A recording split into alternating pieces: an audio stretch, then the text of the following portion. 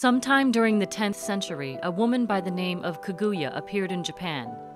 It is said that Kaguya was tall, beautiful, her hair so shiny it was like polished gold.